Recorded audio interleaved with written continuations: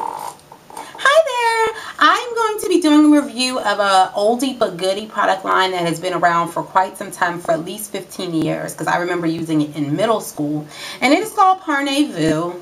I think that's the correct pronunciation.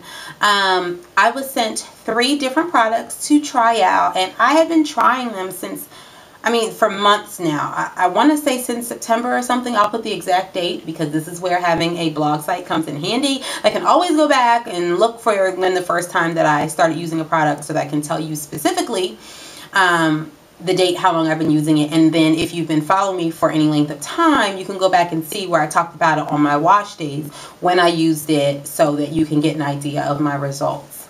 Um, but anyway, I'm going to start with my absolute favorite, which is the Parnevu Hair Mayonnaise. I actually used this earlier in my hair journey and I will link you to the original video if I didn't already take it down. Sometimes I do that um, for my older videos uh, to the one where I talked about this one. But um, I love it. What made me pick it up was I went to go buy another product to the beauty supply store and then um, I saw this one and let me just read you the first few ingredients, okay? Water, ultimate moisturizer, olive oil, how great is that for your hair? Glycerin, one of the most powerful humectants there are.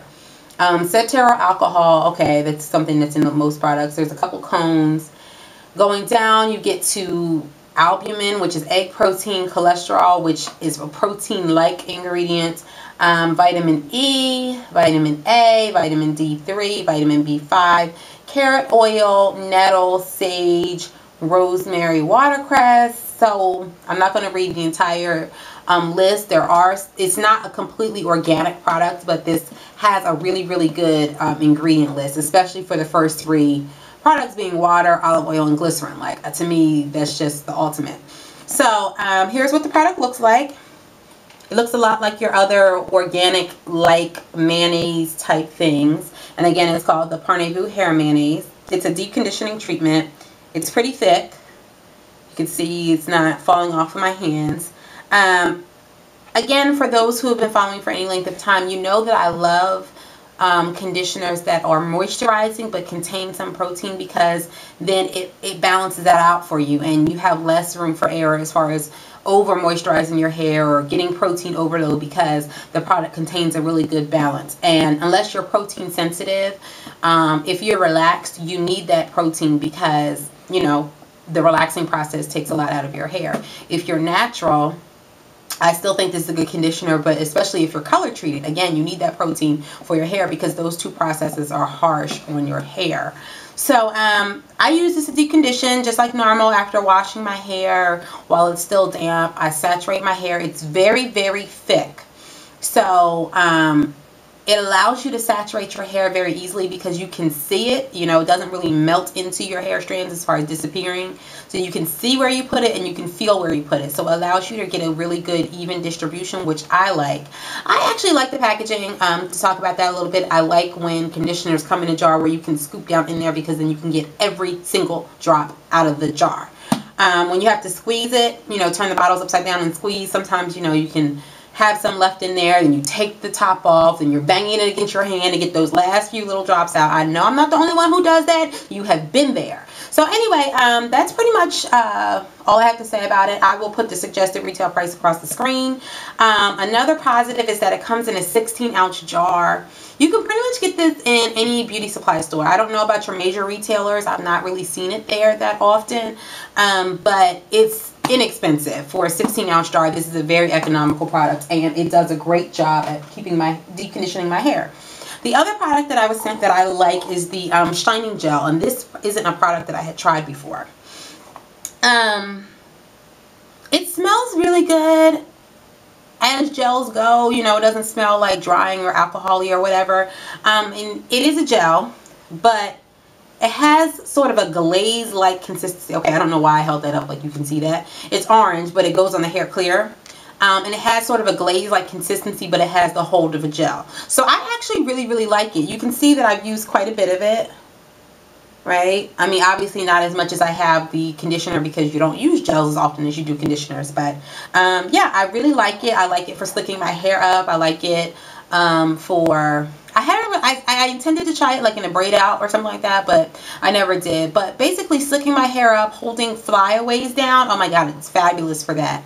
Um, when I had new growth and I was trying to blend in with my um, weave, if I was doing anything in the front, I would put like a little bit on the top on my new growth just to keep like the flyaways down a little bit. Um, so basically that's pretty much all I have to say about this. You know, it performs really well as a gel.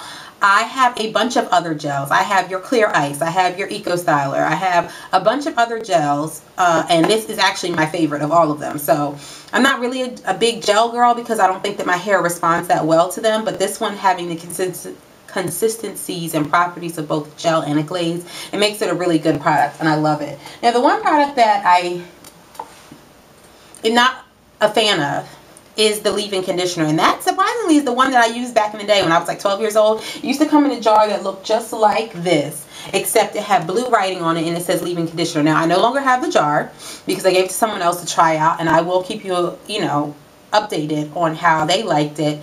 But basically I didn't try it because I know my hair and I know what ingredients my hair responds well to it was a leave-in conditioner that contained mineral oil and petroleum, and I'm, if I'm not mistaken, lanolin, but I will correct myself on the screen if I'm wrong. But any moisturizer, any um, leave-in conditioner that contains mineral oil, my hair will tell the story.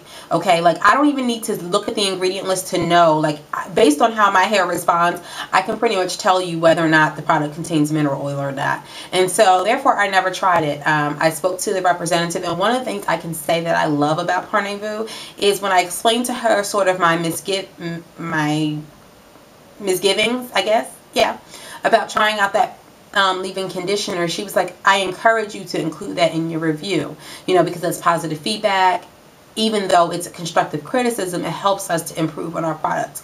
And for those of you guys who have your own blogs, who have your own YouTube channels, you know that sometimes when people give you something to review, they don't really want you to review it. They want you to say positive things about it and they want you to advertise for them. And that's not always possible if something just doesn't work for your hair, skin, body type, whatever it is that you're reviewing. So I really, really applaud them for encouraging um, honesty and appreciating, you know, constructive feedback. So um, that was like something that really impressed me. So those are the three products that I received. It took me a while to do my review only because I had other things that I was doing with my hair, wearing the weaves and, you know, other products that were my go-to, especially on relaxed day and such, such and such. So it takes me a while to do product reviews actually to make sure that they are quality reviews and that I've tested the product out more than just one time.